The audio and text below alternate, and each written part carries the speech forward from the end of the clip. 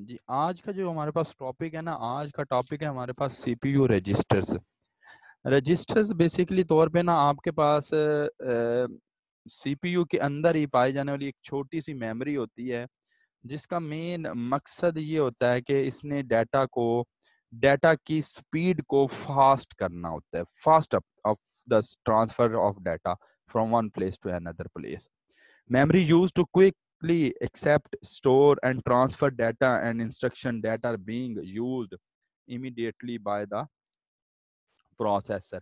मतलब ये होगा कि इसने आपके पास उस डाटा की स्पीड को जो है वो बहुत ज़्यादा फास्ट करने के लिए जो है आपके पास इस्तेमाल होती है।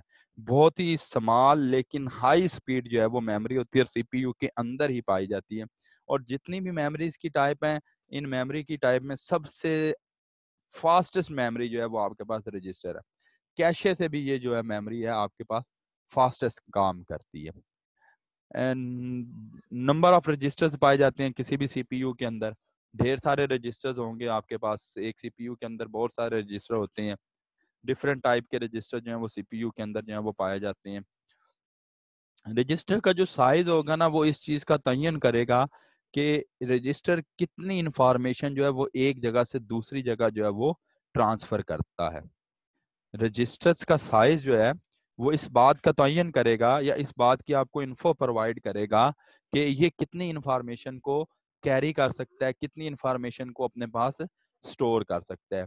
अगर हम रजिस्टर के साइज़ की बात करें तो रजिस्टर का साइज़ एक, दो, तीन, चार और आठ बाइट तक जो है, वो आपके पास रजिस्टर जो है, वो अवेलेबल होते हैं। आठ बाइट का मतलब ये होगा कि 64 बिट ठीक होगी जी बात? जितना बड़ा साइज़ होगा ना bigger the size increase the performance के जितना साइज़ इसका बड़ा होता जाएगा, उतनी ये जो है वो आपके पास परफॉर्मेंस जो है वो बेहतर करता जाएगा। ठीक होगी जी बात यहाँ तक। अब अगर हम आगे देखें तो ये सीपीयू की ब्लॉक डायाग्राम है, जिसके अंदर आपको दो पार्ट तो नज़र आ रहे हैं अर्थमेटिक एंड लॉजिक यूनिट है, और उसके बाद आगे बाद दूसरा जो है वो कंट्रोल यूनिट है। लेकिन कंट्रोल यूनिट के साथ साथ एक ब्लैक कलर ब्लैकिश कलर के अंदर भी आपको नज़र आ रहा होगा जिसको आप रजिस्टर्स का नाम देते हैं। तो रजिस्टर जो है ये सीपीयू के अंदर ही एक मेमोरी होती है तो इसलिए इसको थोड़ा सा जहन में रखना हो। इसको आपने थोड़ा सा जहन में रखना है। रजिस्टर्स जो है वो बेसिक तौर पे हमारे पास दो इकसाम के अंदर डिवाइड कहते हैं जो बेसिक जो इनकी दो टाइप्स हैं। एक को आप नाम देते हैं स्पेशल पर्पज रजिस्टर्स का और एक को आप नाम देते हैं जनरल पर्पज रजिस्टर्स का। जिन्होंने आईसीएस किया हुआ है, उनके लिए काफ़ी ज़्यादा एडवांटेज होगा इसका कि ये वो आईसीएस वाली बुक के अंदर इसको पढ़ के आए हुए हैं। हमने यहाँ पे थोड़ा सा इसको तफसीलन देखना होगा। तो जिन्होंने पहले से आईसीएस में ये टॉपिक पढ़ा हुआ है, उनको ज़्यादा आसानी होगी। नहीं तो कई दफ़ा जो होता है बाज़ टीचर्स इसको वहाँ पे चॉइस पे छुड़वा भी देते हैं। पर यहाँ पर तो हमने इसको तफसील से देख ही लेना है फिर। अच्छा इसमें आता है जी जनरल पर्पज रजिस्टर बेसिकली तौर पे। जनरल पर्पज रजिस्टर्स क्या होते हैं? कि जनरल पर्पज रजिस्टर्स का मेन मकसद ये होता है कि ये आपके पास जितनी भी मैथमेटिकल और लॉजिकल कैलकुलेशंस वगैरह होती हैं ना ए एल यू की, उनके लिए इस्तेमाल होता है कि ए एल यू ने जितनी भी आपके पास कैलकुलेशंस करनी है ना मैथमेटिकल रजिस्टर्स ये उसके लिए इस्तेमाल होता है आपके पास। ठीक हो गया। काजिम आपके क्वेश्चन का आंसर मैं ला एंड पे देता हूँ, बल्कि अभी दे देता रजिस्टर बेसिकली तौर पे दो टाइप्स के होते हैं, एक को आप नाम देते हैं स्पेशल पर्पज रजिस्टर्स और एक को आप नाम देते हैं general purpose registers general purpose register जो होते हैं, इनका बेसिक जो कॉन्टेक्स है या बेसिक इनका जो मकसद है या जो इनका बेसिक ऑब्जेक्टिव जो है, वो है आपके डाटा के अंदर होने वाली जितनी भी मैथमेटिकल और लॉजिकल ऑपरेशंस होंगे, जो कि आप ए के थ्रू परफॉर्म करेंगे, इसको कंट्रोल करना या इसको सेव करना जो है वो आपके पास जनरल पर्पज रजिस्टर्स का काम होता है। ये भी माइक्रो प्रोसेसर के अंदर ही पाए जाते हैं और इन्होंने डाटा को टेम्परेरी तौर के ऊपर आपके स्टोर करना होता है। अगर आप इसकी टाइप्स की बात करें तो इसकी टाइप्स के अंदर हमारे पास आ जाते हैं एकामुलेटर रजिस्टर्स हैं बेस रजिस्टर्स हैं, काउंटर रजिस्टर्स हैं और डाटा रजिस्टर हैं। आम आसान अल्फाज के लिए इसको याद रखने के लिए आप A B C and D का नाम दे सकते हैं। A for accumulator B for base C for counter और डी फॉर डाटा रजिस्टर्स अपने नाम से ज़ाहिर हो जाएँगे। इकामुलेटर रजिस्टर्स जो हैं, ये आपके पास ऐसे रजिस्टर्स होते हैं जो कि आपके पास अर्थमेटिक और डेटा ऑपरेशंस को कंट्रोल करते हैं। लॉजिकल नहीं आएगा, यहाँ पर आना है इसने। अर्थमेटिकल एंड डेटा इंस्ट्रक्शन यानी कि जितनी भी आपकी अर्थमेटिक कैलकुलेशन होंगी ना, वो सारी की सारी आपके पास इकामुलेटर रजिस्टर्स के अंदर आ जाती हैं। लॉजिकल को भी आप लेके आ सकते हैं, जिसके अंदर आपके पास लेस देन आ गया ग्रेटर देन आ गया, वो सारी इसी के अंदर ही आ जाती हैं। अर्थमेटिक अकामुलेटर रजिस्टर जो होता है, इसी के अंदर ही आपके पास आके ये स्टोर हो जाएँगी। तो इसका बेसिक कॉन्टेक्स ये होगा कि या अगर अर्थमेटिकल और लॉजिकल इंस्ट्रक्शन जितनी भी होंगी या डाटा इंस्ट्रक्शन जितनी भी होंगी, उसको परफॉर्म आउट करने के लिए इस्तेमाल होता है। 16 बिट के अंदर ये रजिस्टर कॉमनली आपको मिल जाता है। अगर 16 बिट के अंदर मिलेगा तो आप इसको 8 बिट के दो रजिस्टर्स के अंदर डिवाइड कर देंगे। क्योंकि जो आपका होता है ना, आर्किटेक्चर जो है, वो कंप्यूटर का आर्किटेक्चर जो है, वो ज़्यादातर 8 बिट के साथ जो है, वो काम कर रहा था। जो डाटा हम सेंड करते हैं, वो 8 बिट के साथ सेंड करते हैं। अक्सर आपने देखा होगा, बाइनरी के अंदर जब आप कंप्लीमेंट्स की फॉर्म लेते हैं या बाइनरी के अंदर जब आपकी डाटा की कन्वर्जन हो रही होती है तो आप ज़्यादातर उसको एट बिट में कंसिडर करते हैं। एट बिट में इसलिए करते हैं कि आस्की जो है ना, आस्की कोड जो है, वो आपका आठ बिट का ही होता है। उसके अंदर आप ज़्यादा से ज़्यादा एट बिट डाटा जो है वो स्टोर कर सकते हैं। उसके बाद आपके पास यूनिकोड आया था, जिसने सिक्सटीन बिट को किया था। आजकल यूनिकोड इम्प्लीमेंट हो रहा है ज़्यादातर, लेकिन ज़्यादा अभी भी सिस्टम जो है वो आस्की कोड के ऊपर चल रहे हैं। इसलिए हमने इसको सिक्सटीन बिट के सिक्सटीन बिट रजिस्टर को एट बिट के दो रजिस्टर्स के अंदर डिवाइड कर देते हैं। जब आप इसके दो रजिस्टर्स के अंदर डिवाइड कर देंगे तो एक को आप नाम दे देंगे ए एच का और एक को आप नाम दे देंगे ए एल का। A H stand for accumulator high register and A L stand for accumulator low low register मतलब इसको आपने हाई और लो पार्ट के अंदर इसके डिवाइड कर दिया। अगेन आपके पास जो सेकंड रजिस्टर आता है, वो आता है आपके पास बेस रजिस्टर है। बेस रजिस्टर का काम जो होता है, वो आपके पास ये है कि इसने भी अर्थमेटिक कैलकुलेशंस को भी कंट्रोल करना होता है साथ साथ इसने डाटा की जो मूवमेंट है ना, उसको कंट्रोल करना होता है। इकामुलेटर ने डाटा के ऑपरेशंस को कंट्रोल करना होता था, इसने डाटा की सिर्फ़ मूवमेंट्स को कंट्रोल करना है कि एक रजिस्टर से जब दूसरे रजिस्टर के अंदर वैल्यू मूव हो रही होती है तो इसने सिर्फ़ और सिर्फ़ उन वैल्यूज़ को अपने पास कंट्रोल करना होता है। और जो दूसरे वाला इकामुलेटर रजिस्टर था, उसने इसके रिज़ल्ट को अपने पास जो है वो सेव आउट करना होता है। ठीक हो गया। इसी तरीके से ये भी आपके पास दो ही टाइप्स के अंदर आपको मिलता है, एक को आप नाम देते हैं ए एल का और एक को आप इसको आप नाम देंगे बी एच का और एक को नाम देंगे आप बी एल का। एच वही मतलब बनेगा इसका हाई और लो का, इसके अंदर आपके पास मतलब आ जाता है। ठीक होगी जी बात? यस सर अच्छा बेस रजिस्टर जो है ये आपके पास डाटा मूवमेंट और ऑफसेट वैल्यू को जो है वो स्टोर करने के लिए इस्तेमाल होता है। ठीक हो गया। इसके बाद आता है आपके पास काउंटर रजिस्टर जो है। काउंटर रजिस्टर अपने नाम से ज़ाहिर है ये काउंटिंग के लिए इस्तेमाल होता है। काउंटिंग से मुराद होता है कि जब आप अपने प्रोग्राम के अंदर लूप्स का इस्तेमाल कर रहे होते हैं ना तो लूप के अंदर हर वैल्यू जो है वो एक एक, दो दो दफ़ा करके इंक्रीज होनी होती है। अब कंप्यूटर साइंस वालों को तो लूप की समझ आ जाएगी, लेकिन जो आपके पास कंप्यूटर साइंस के विदाउट है, उनको लूप मैं थोड़ा सा समझा दूँ कि लूप क्या होता है। बल्कि आपने प्रोग्रामिंग में लूप पढ़ लिया हुआ है इसलिए बताने की मेरे ख्याल ज़रूरत नहीं है कि तो ये ज़्यादातर काउंटर रजिस्टर जो है ना, ये आपके पास लूपिंग पर्पज के लिए इस्तेमाल होता है। काउंटिंग के लिए जब आपका एक वेरिएबल इंक्रीमेंट या डिक्रीमेंट हो रहा हो तो उसकी काउंटिंग वगैरह के लिए जो आपने इसको इस्तेमाल करना होता है। ठीक होगी बात? ये भी आपके पास मोस्टली सिक्सटीन बिट के अंदर डिवाइड होता है और इसको सी एच और सी एल के अंदर आप डिवाइड कर देते हैं। थर्ड वन होता है आपके पास डेटा रजिस्टर है। डेटा रजिस्टर जो होता है, इसने ज़्यादातर आपके पास डिविजन और मल्टीप्लीकेशन का जो रिज़ल्ट है ना, वो अपने पास स्टोर करना होता है। ठीक होगी जी बात। डिविजन और मल्टीप्लीकेशन का जो रिज़ल्ट होगा ना, वो ज़्यादातर आपके पास जो है वो डाटा रजिस्टर्स के अंदर स्टोर होते हैं। अगर ये 16 बिट का रजिस्टर होगा तो ये भी टू एट एट के टू पार्ट्स के अंदर जो है वो डिवाइड होकर डी एच और डी एल के अंदर कन्वर्ट हो जाएगा। नेक्स्ट आपके पास आता है special purpose register. Special purpose registers आपके पास ऐसे रजिस्टर्स होते हैं जो कि कंट्रोल और मोनिटर वेरियस एस्पेक्ट जी special purpose register special purpose registers हमारे पास ऐसे रजिस्टर्स हैं अपने नाम से रिप्रेजेंट है कि जिनमें कोई स्पेसिफिक वर्किंग परफॉर्म आउट करनी होती है।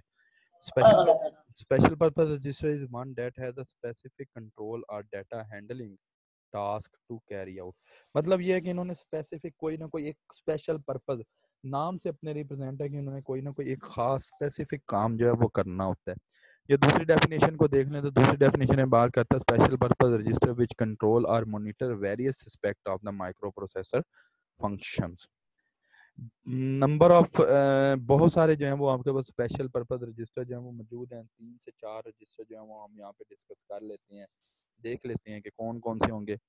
पहले नंबर पे आएगा आपके पास मेमोरी एड्रेस रजिस्टर बल्कि मेमोरी एड्रेस रजिस्टर से पहले मैं आपको ले चलता हूँ जी प्रोग्राम काउंटर के ऊपर।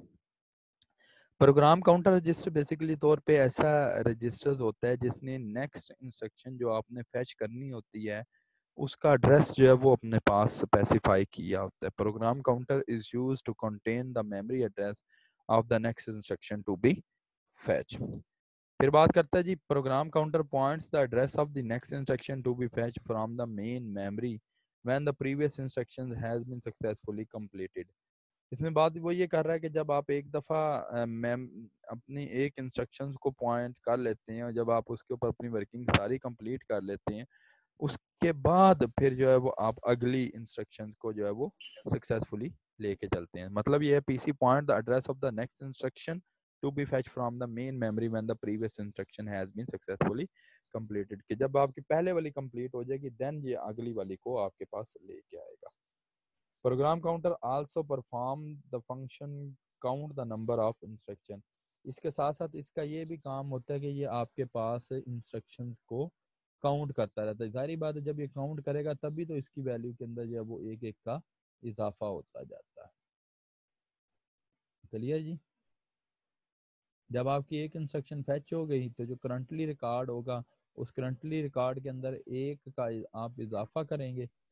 तो जब आप एक का इजाफा करेंगे तो ऑटोमेटिकली जो है वो आपकी नेक्स्ट इंस्ट्रक्शन को पॉइंट आउट कर जाएगा इसके बाद आता है जी memory address registers memory address register आपके पास एक ऐसा रजिस्टर्स होता है जो कि आपके पास उस लोकेशन को होल्ड करता है जिसको आपने एक्सेस करना होता है।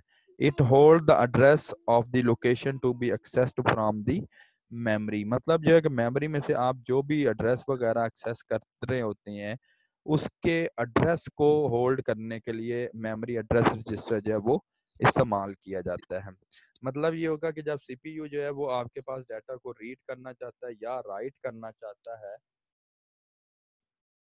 When CPU wants to read or write the data in the memory, it stores the address of memory location in this register.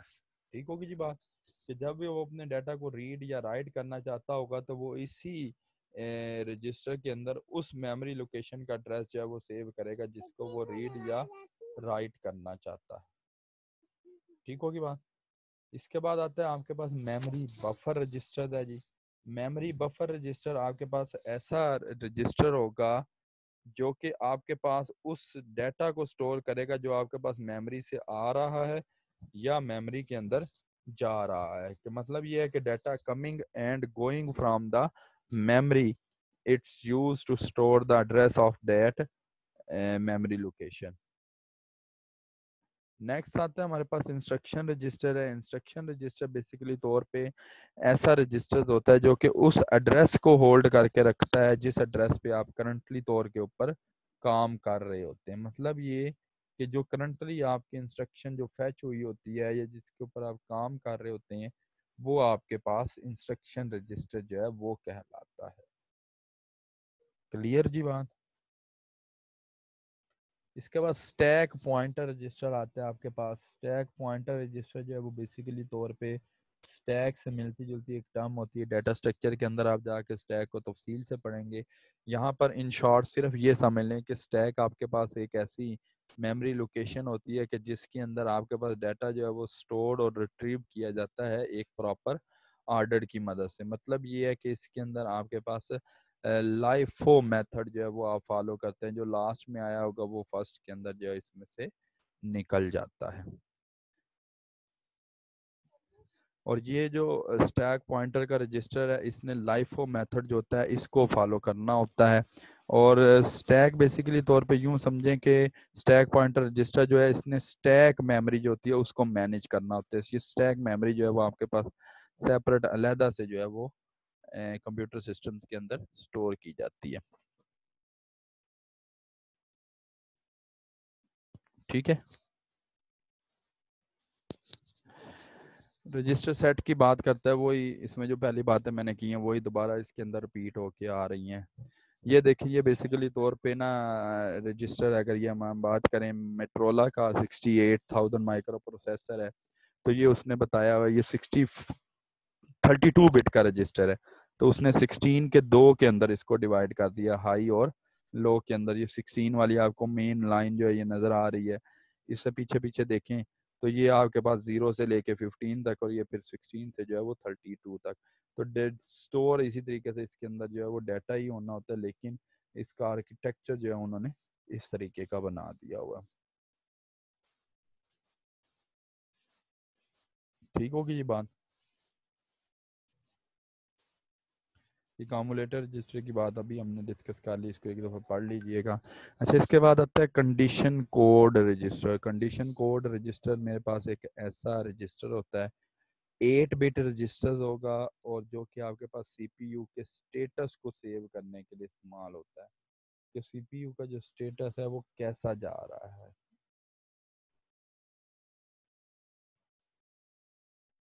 ठीक होगी जी बात?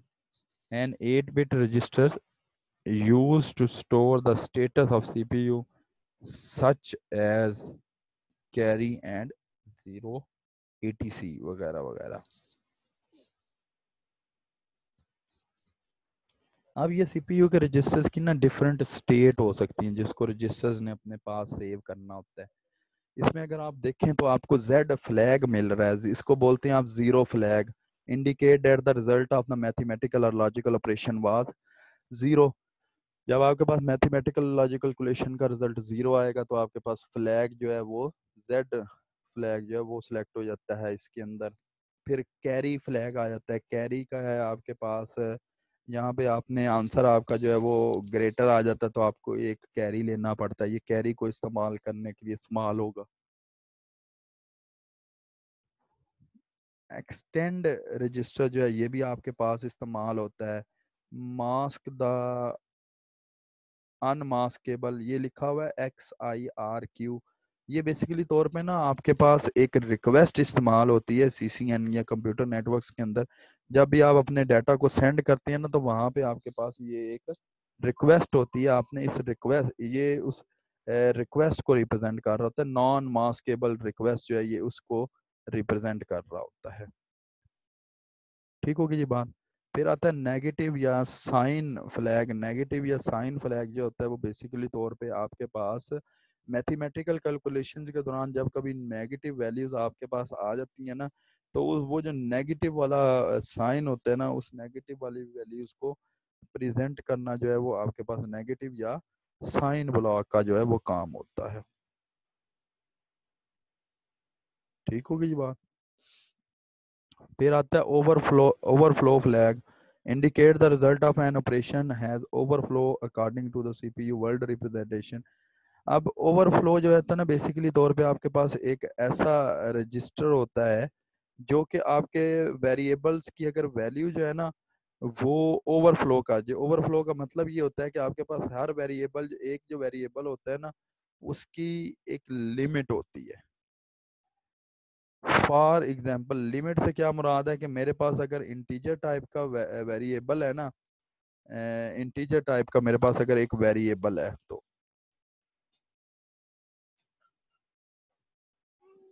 तो इंटीजर टाइप का जो वेरिएबल होगा, वो मेनली स्टोर करता है आपके पास फोर बाइट्स को।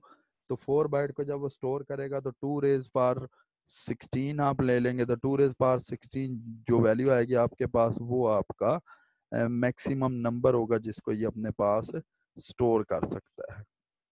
ठीक होगी जी बात?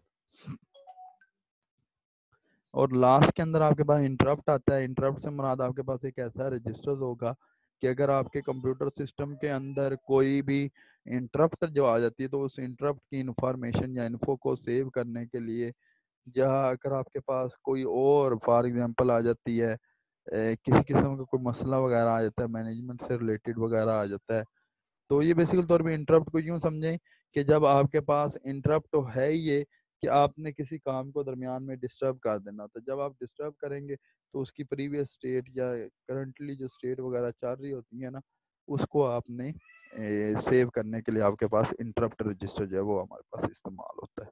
ठीक होगी बात? पीसी की बात हम पहले कर चुकी हैं। ये आपका जो सीपीयू जो है ये रजिस्टर पीसी जो है ये इसका इंटरनल स्ट्रक्चर जो है वो नज़र आ रहा है। स्टैक पॉइंटर की भी बात हो गई है जो कि स्टैक को पॉइंट आउट करने के लिए हमारे पास इस्तेमाल होता है। सर काफ़ी है आज के लिए। ये सिर्फ़ आखिरी स्लाइड रह गई ये करवानी मैंने। माइक्रो प्रोसेसर क्लॉक है। माइक्रो प्रोसेसर क्लॉक से मुराद होता है, आपका क्लॉक रेट है। क्लॉक रेट से मुराद ये होगा कि ये वो स्पीड होगी या ये वो स्पीड होगी जिसके तहत माइक्रो प्रोसेसर जो है ना वो अपनी एग्जीक्यूशंस को कंट्रोल करता है। यानी कि जितनी एग्जीक्यूशन एक सेकंड के अंदर ये जितनी एग्जीक्यूशन परफॉर्म करेगा, उसको आप इसकी प्रोसेसर क्लॉक या क्लॉक रेट का नाम देंगे। अब वो ये बात करता है कि सीपीयू जो होता है ना, इसकी नंबर ऑफ़ क्लॉक टिक जो है वो आपने फिक्स की होती है कि आपने जिस तरह से टाइपिंग स्पीड होती है ना कि थर्टी या फोर्टी जो है वो पर मिनट होनी चाहिए। तो इसके अंदर भी बेसिकली तौर पे इन्होंने यही सीन रखा हुआ है कि आपकी जो क्लॉक है ना, ये सीपीयू की जो क्लॉक है, इस क्लॉक का जो है वो बस के साथ मिलना जो है वो ज़्यादा ज़रूरी होता है। क्यों? कि इसने डाटा को ट्रांसफ़र करना है और बसेस ने जो है वो भी डाटा को ट्रांसफ़र करना है। जिस तरह से आपकी सीपीयू की क्लॉक है ना, इसी तरीके से आपके पास बसेस की भी क्लॉक होती है। तो सीपीयू की क्लॉक की स्पीड और बसेस की क्लॉक की स्पीड जो है आपस में लाजमी मैच करनी चाहिए। अगर ये मैच नहीं करेंगे तो हमारे पास बॉटल नेक की जो सिचुएशन है, वो बन जाती है। और जो सीपीयू की स्पीड है, ये ज़्यादातर गैगा या मेगा के अंदर जो है, उसके अंदर इसको काउंट किया जाता है।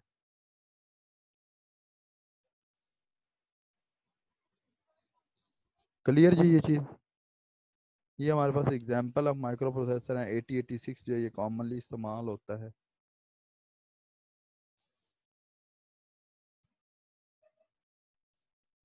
जी, आप किसी ने कोई चीज़ पूछनी है तो बता